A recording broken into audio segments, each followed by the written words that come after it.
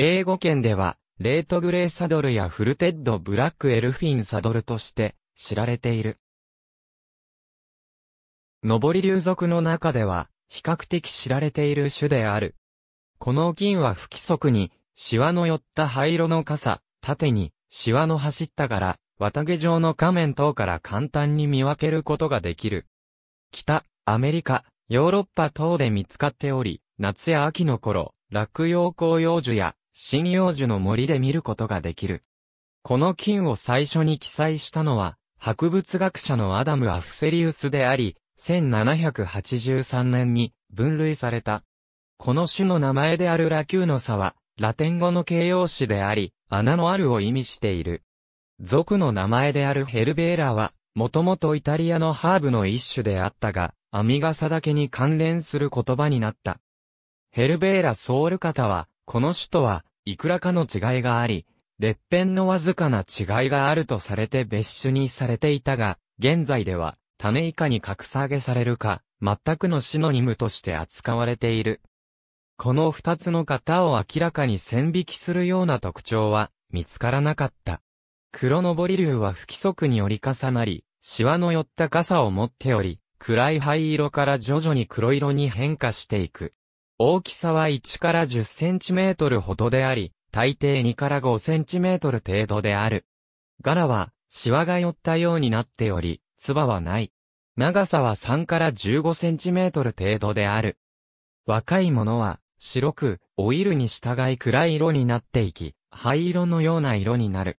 胞子門は白色であり、胞子自体は楕円型をしている。平均的に12-9マイクロメートル程度である。時折、白い蓋のようなものがついている場合がある。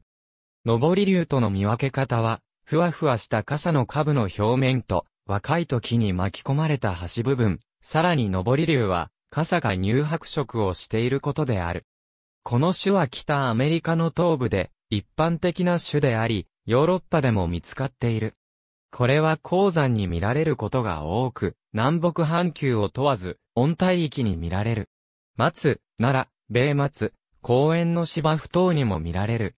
稀に焼け跡から生えることもある。小実体は、晩夏から秋にかけて見られる。ただし、カリフォルニアでは冬に見られたこともある。時に白いカビの生えたような外見のものがあり、シノーキンモンのヒポマイセズサービニジーナスに寄生されているものである。この種は過食である。柄は食べられないが、傘の部分はいくつかの調理例では好評である。いくつかのガイドブックには、過食として扱われている。しかし、この属の他のいくつかの種は現在では、毒の存在が疑われているため、この種自体にも毒があるのではと疑われている。生殖すると消化器系に症状を与えると報告されている。AB Thomas Læssøe、Mushrooms、Dorling Kindersley、ISBN 0から751310700、 Nilsson S、Persson O、Fungi of Northern Europe 1、Larger Fungi、ピアニッシモ、36から37、 Penguin Books、ISBN 0から1406300058、 Marcel Bon、The Mushrooms Toadstools、